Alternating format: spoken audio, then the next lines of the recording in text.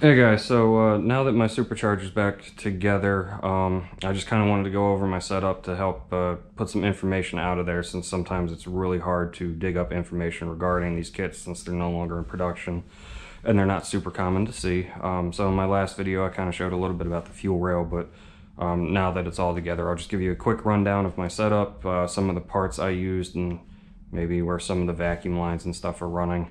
And then at the end of this, um, I guess if you guys feel you need more information or you're trying to run a similar setup, you can always ask me questions um, down below in the, in the comment section. I'm pretty good about getting back to people. So just a general overview. This is uh, obviously it's a D16 um, Y8 um, stock valve train. Um, I do have forged rods and SRP 10 to 1 pistons just because uh, when I first built this, we accidentally windowed the stock block and snapped a couple of the uh, stock rods. So I did build the bottom end.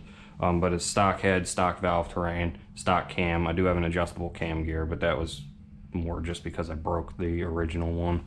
Um, but anyway, uh, over to the supercharger, you'll see that it's in here. It is very tight fit. Um, if your kit's not specifically for the Y8 engine, you might have some clearance issues. I actually had to pound the uh, the shock tower there again to get a little bit of clearance, and it's, it's tight. It's like the belt's width. Um, it's very tiny belt, obviously. Um, and the supercharger's in, um, very tight back there. Um, this valve here is actually what uh, what controls the boost. Um, they are hard to find, so be careful when you're putting them in. You can see I had to JB weld mine back together because we broke the nipple off. Um, as far as your connections go, um, this line here is running over to a four bar map sensor. You don't want to use the factory one on the throttle body You'll never see boost on the ECU and it'll be a pain in the ass to tune. Um, so this is running to that and the T here is running back to the the emission system because I have to keep that based on where I'm living. This other line is running over here to the AEM fuel pressure regulator so it can rise with the boost level. Um, this here runs to my boost gauge inside the car. This runs to the brake booster obviously. Um, on the valve here, it runs down, and there's another nipple down here um, where the intake tube connects to the supercharger. That's where you run that.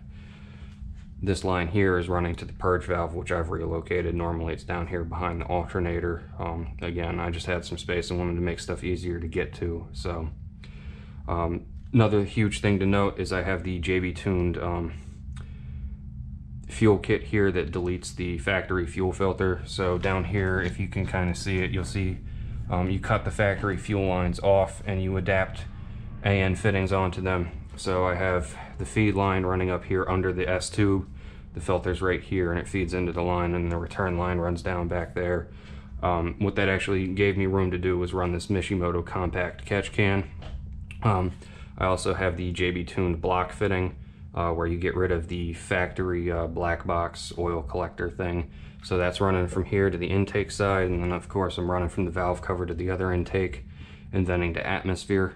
Um, I did find that if you try and do this in a recirculating setup, the supercharger just sucks in so much air that it fills the catch can really quick. Like I'm talking like two to three miles of driving. So once I ventilated it, it's good to go. Um, you can tell it's ventilating, but it doesn't fill the can up that rapidly. Um, other thing to note, you want to run an OBD1 air intake sensor. Um, you just stole that off of some car at the junkyard and splice it into the factory wiring harness. You'll see my original sensors down here in the intake tube just so that hole is plugged up. Um, you really want to get those intake temperatures and read them correctly because it hugely affects how the car runs. If you're running just this one, it never sees the heat that the supercharger generates.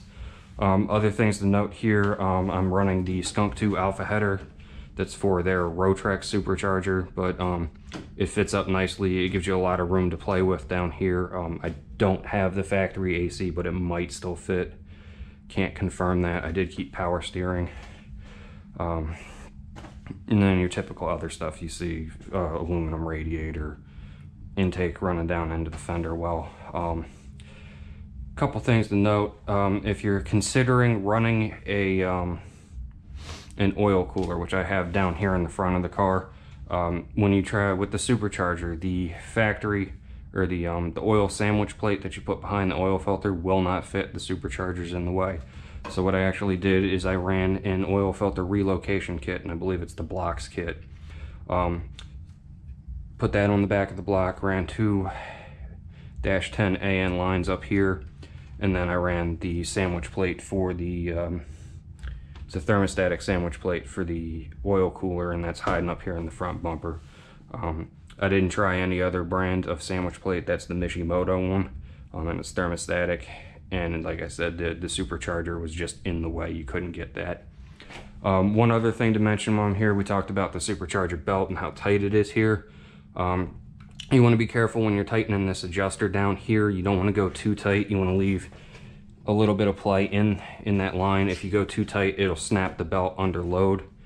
Um, and you don't want to be stuck on the side of the road because you know it runs like crap if it if it doesn't have that belt on it. Speaking of the belt itself, um, this is the replacement belt. It's a Bando 3PK 1220.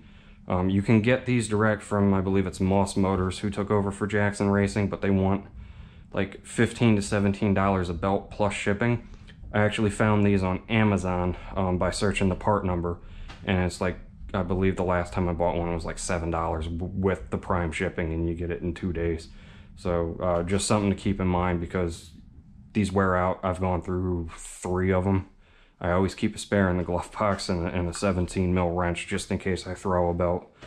Um, but yeah, that's a lot of information. Again, guys, um, if you're thinking about doing this on your car or you have any other questions regarding the setup, please feel free to like comment down below and I'll, I'll get back to you. Uh, anyway, thanks for watching.